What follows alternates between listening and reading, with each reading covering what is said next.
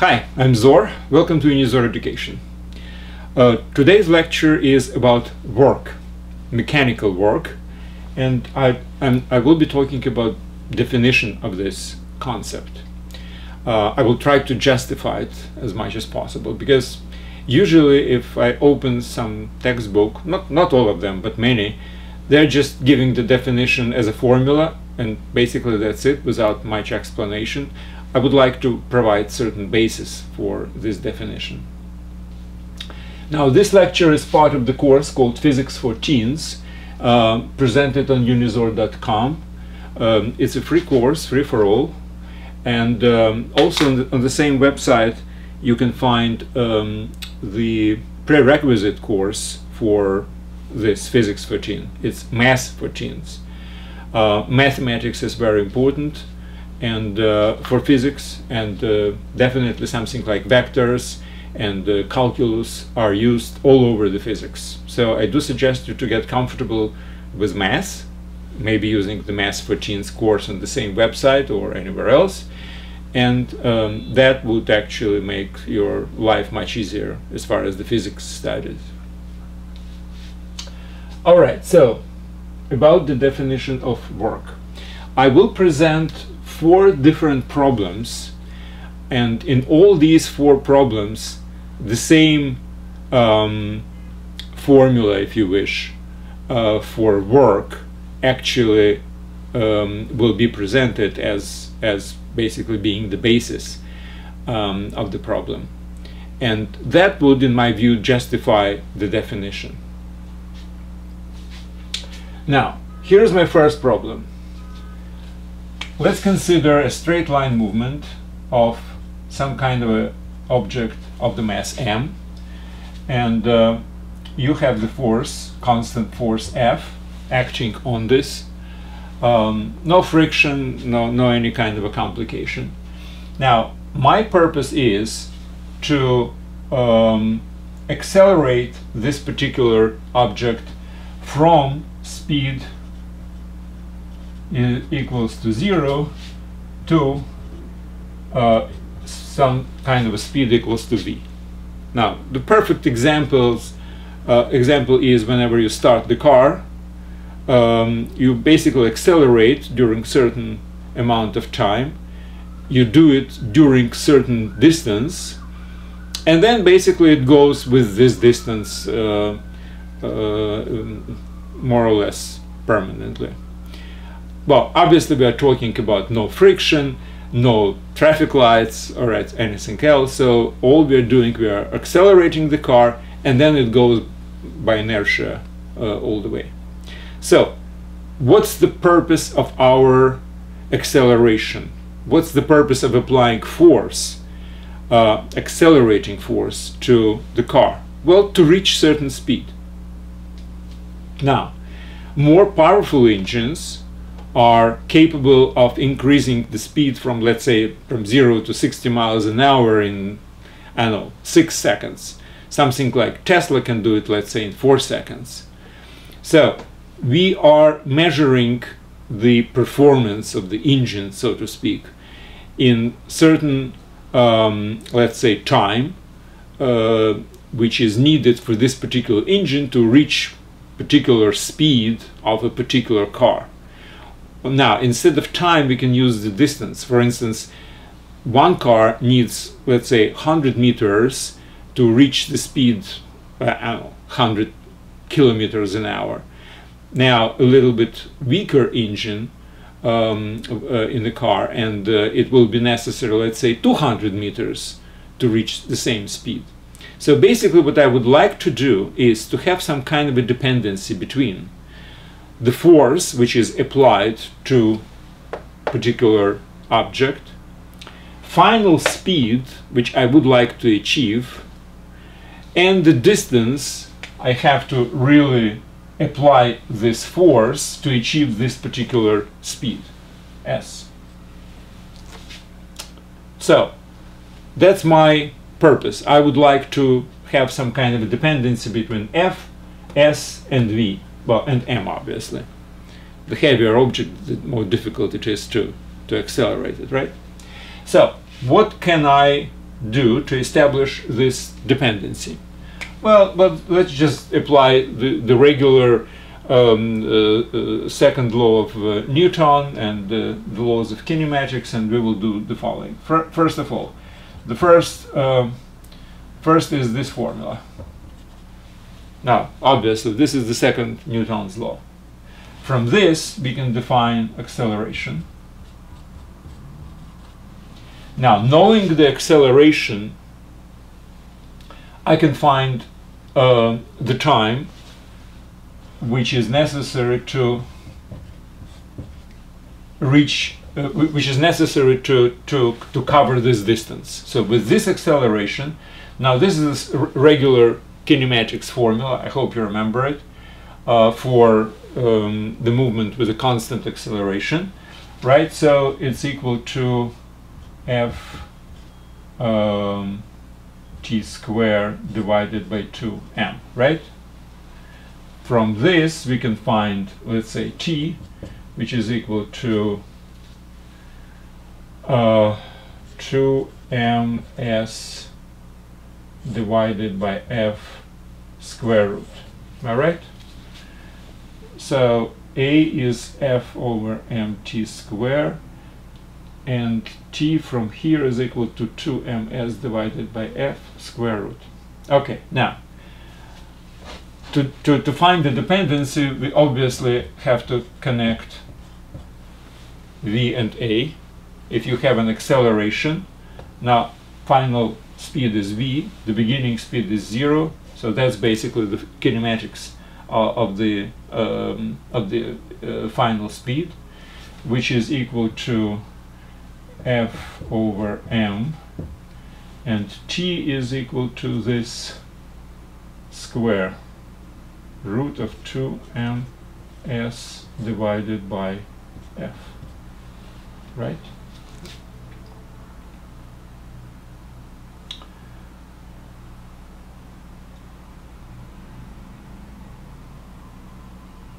I right?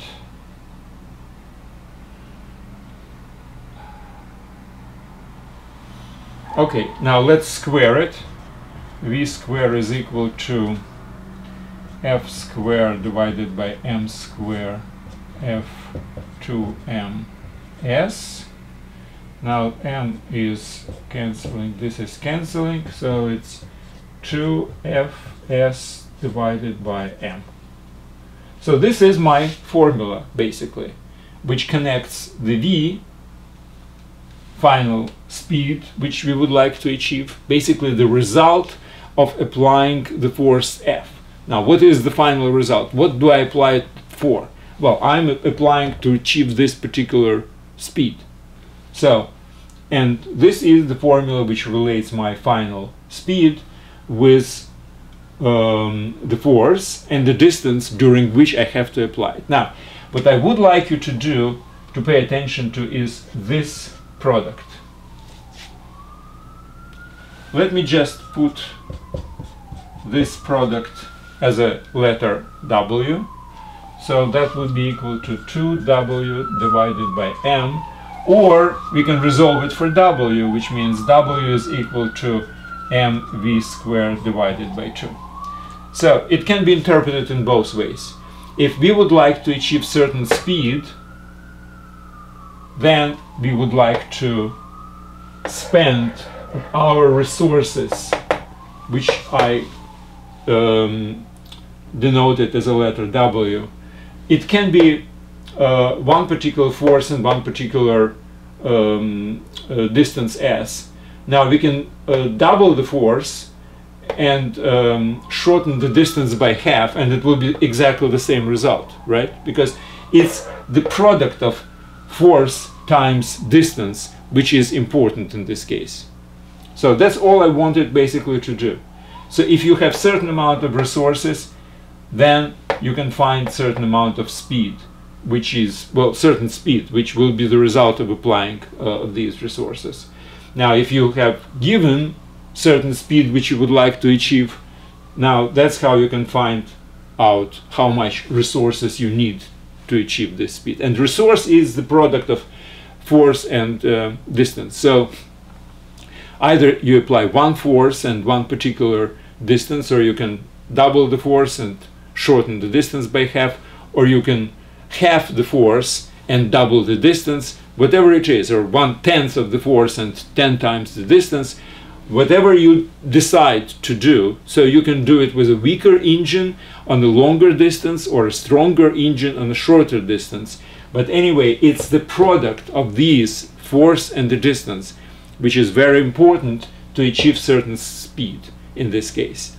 Now, let me just instead of achieve certain speed, I will rephrase it to achieve certain result. So if we would like to achieve certain result as basically um, result of the application of the force on certain distance, that's basically the formula which, which gives you this type of thing. So it doesn't really matter how you achieve it. Again, with a weaker engine on a longer distance or a stronger engine on a shorter distance, result will be the same. It's the product of force times distance which defines the result. Or define or, or, or define the result, which if given a result, then you can basically find out what is your product of the force time distance. And basically now I can tell you that this thing is called work. Now this is a work which is performed by this force during or applied on the distance of uh, s. So if the force is applied on the distance s, their product is called work and it's from the work your final result depends. So if you want to achieve certain result, then you can find out what's the work to be applied. Or if you have the work, then that would be your result. Okay, this is my first um, problem, which basically introduces the concept of work. And what I'm going to do is to give you a couple of more examples, which basically uh, either um, make a little bit more universal this formula or just confirm it in some other cases. Okay, first of all, to make it just a little bit um, more universal, uh, what if you have the force applied at an angle? If this is the force. Okay, let's say you have a, a toy train for instance, which is going on the rails. Okay, this is your toy train, and uh, uh, and the child is pulling the train at an angle. So what happens? Well, if, if, if, if he doesn't really put it too strongly to completely derail it, um, the, the force actually should be divided into two. It should be represented as a sum of two. One component will be along the track, another would be uh, perpendicular to the track, but if the track actually is uh, made of something which resists this thing, obviously there is a resistance, so it does not derail. So this force is uh, balanced with the reaction of the reaction of the of the rails, right? So you can completely ignore this, and only this one will act in the direction and this force is equal to if this is phi uh, if this is phi it would be f times cosine phi so basically it's exactly the same problem as before except we have to consider instead of um, um, force f as in the previous case we have to consider f times cosine f uh, cosine phi so a little bit more universal formula would be this cosine phi that's my second problem. Again, that's not to um, to emphasize basically the, the, the, correctness or validity of the, this, this definition. I'm just trying to make it a little bit more general to cover this case. All right. Okay, so that's my second example. Now my third example is completely different. So what I'm going to do, I'm going to uh, use the incline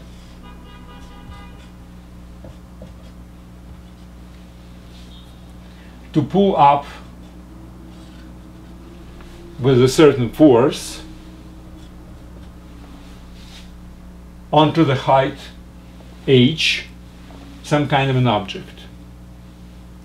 And I will try to do basically exactly the same. What's my purpose? My purpose is to lift the object uh, onto the height h. Now I would like to find out what kind of resources, basically, what kind of work I have to perform to do it. Okay, how can I do it? Well, obviously there is a weight and the weight must be obviously uh, represented as sum of two vectors. One is perpendicular to the uh, inclined and another is against the movement up, right? Now obviously this force would be balanced, this force would be balanced to a reaction of uh, the plane and both are balancing each other. Now to move it up I have to have the force F to be equal to this one, to R, right? If I would like to move it with a constant speed, no acceleration, just make it simple. So let me shorten this vector so it's equal to this one by, uh, by magnitude. So as soon as my force is equal, we start moving, no friction, right? So what is the value of this uh, force which is resisting the movement? Well, if this is an angle phi, then this is an angle phi.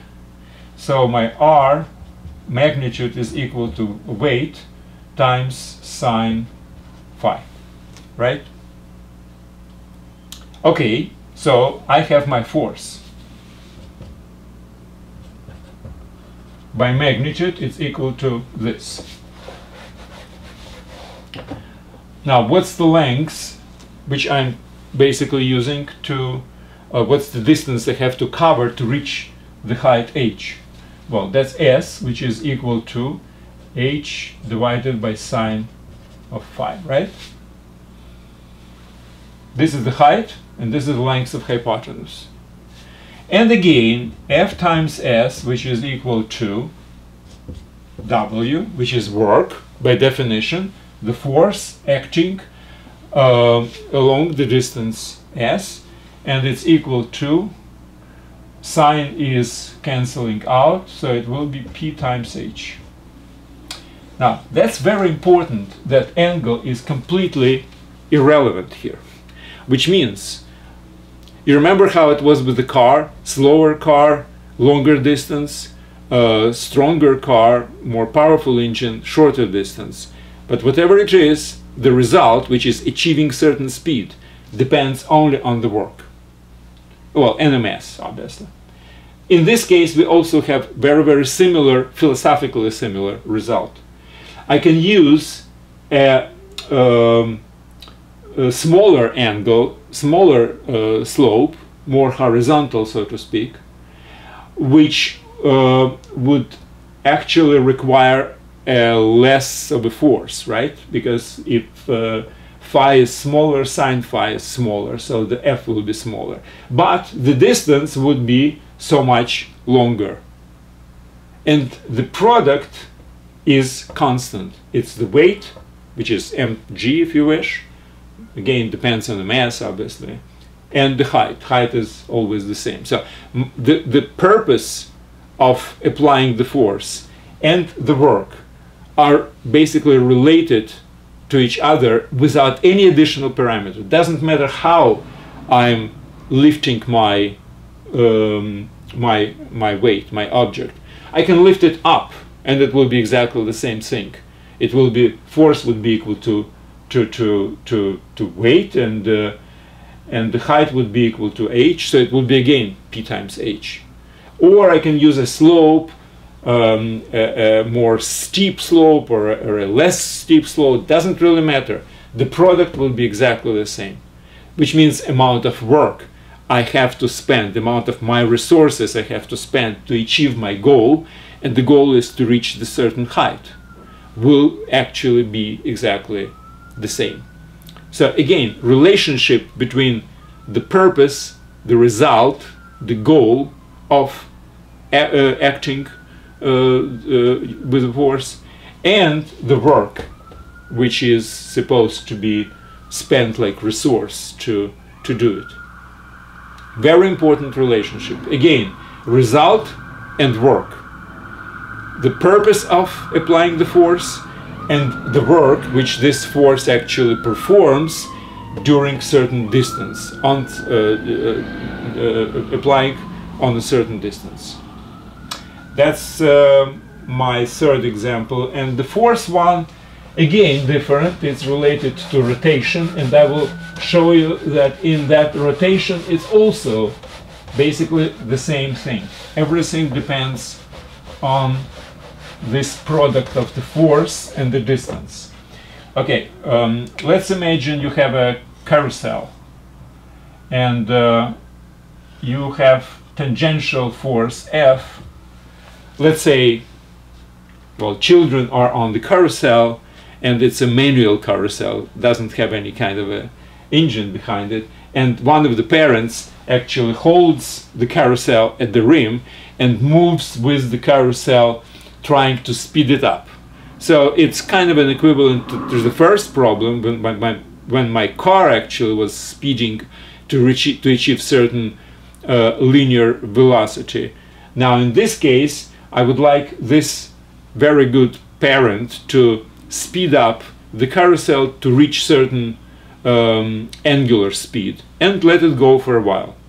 So the kids will enjoy it right? So we are talking about a goal of achieving certain angular speed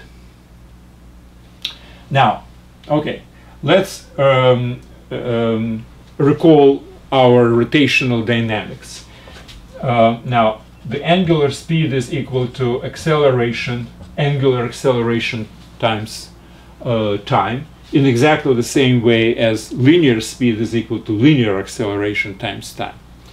Okay, now my um, uh, linear speed would be omega times r, right? My linear acceleration would be alpha times r. Uh, sorry, Yes, yes, linear acceleration of the rim, of the point on the rim, right? So this is the um, linear speed, but this is variable because the omega is variable.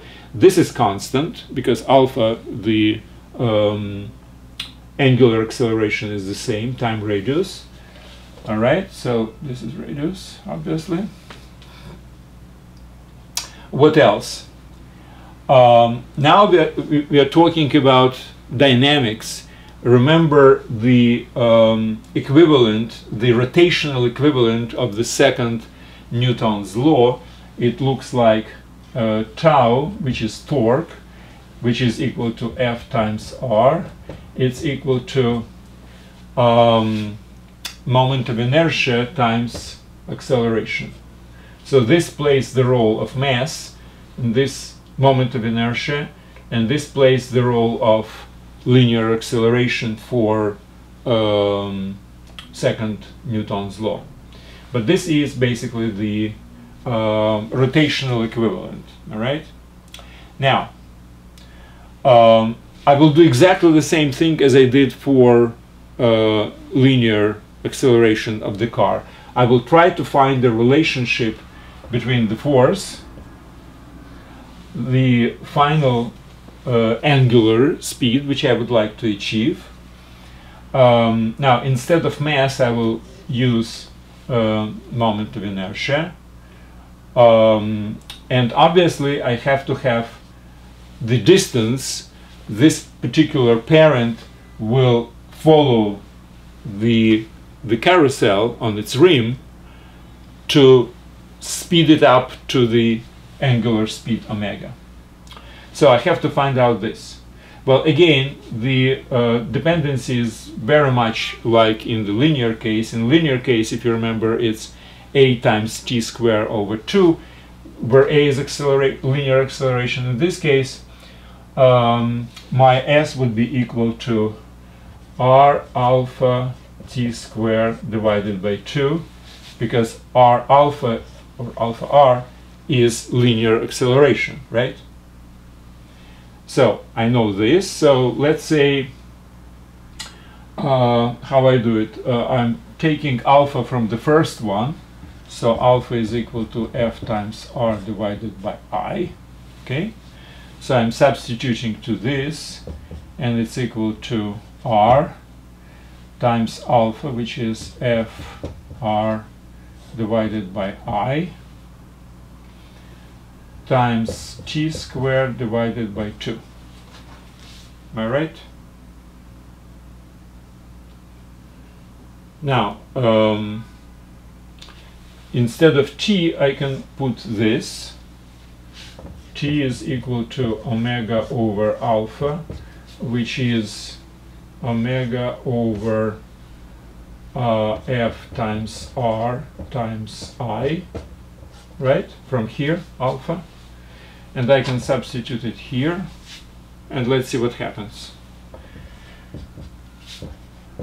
rf r again t square which is omega square i square divided by 2i and square f square r square. All right? So r r r f f.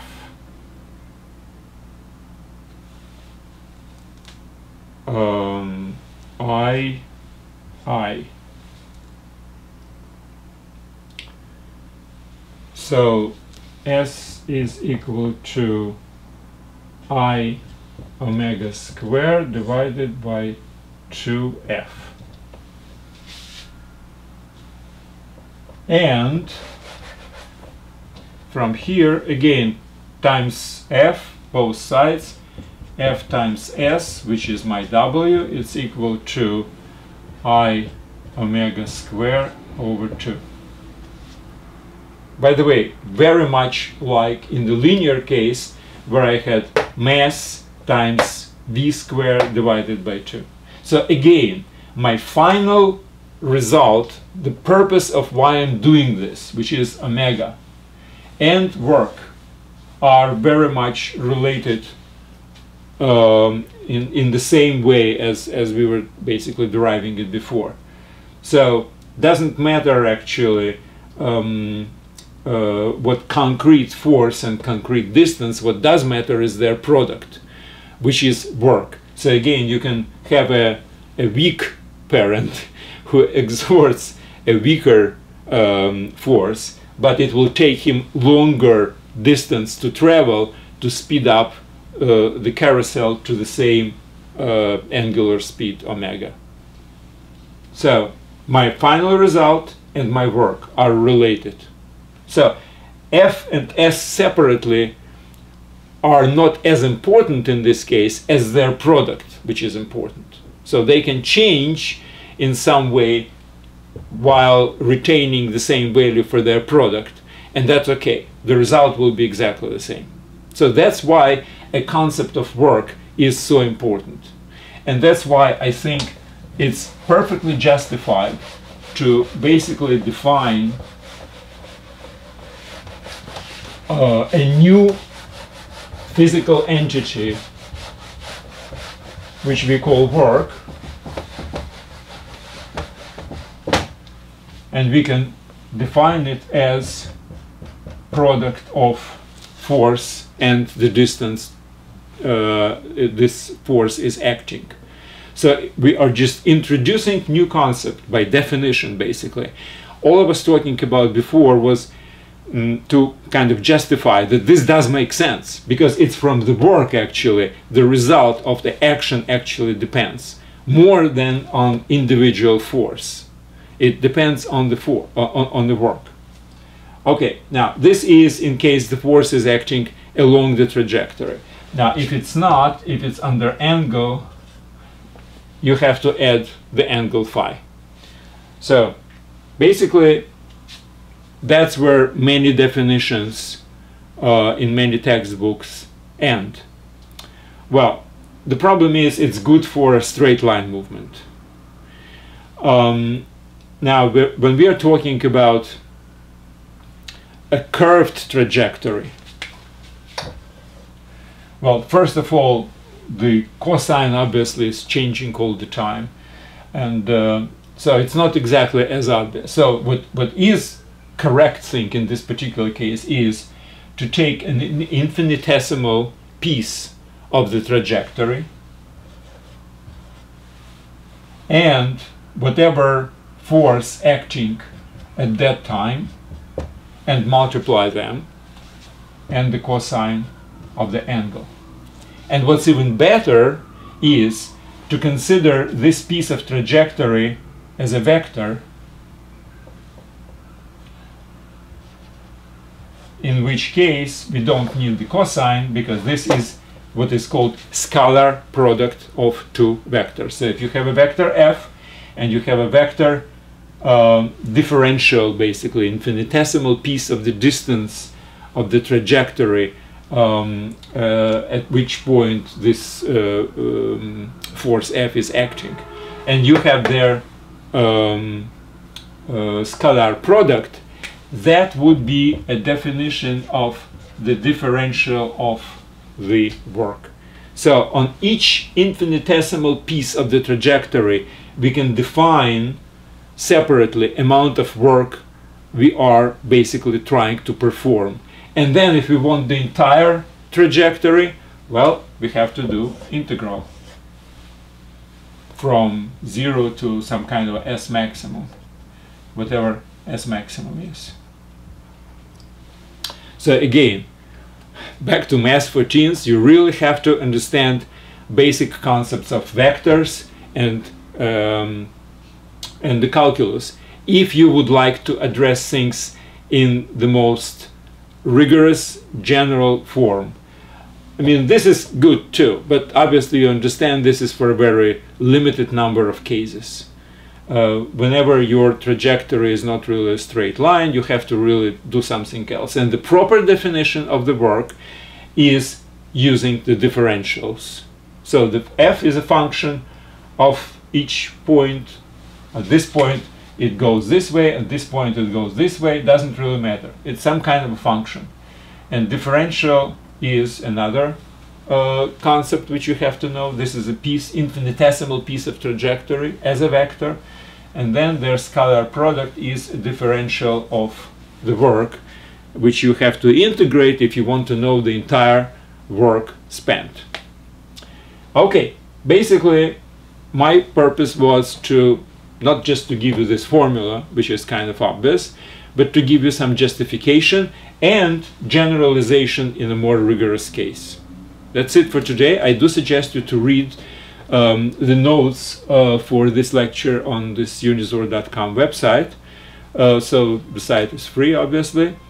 Um, well, that's it for today. Thank you very much and good luck.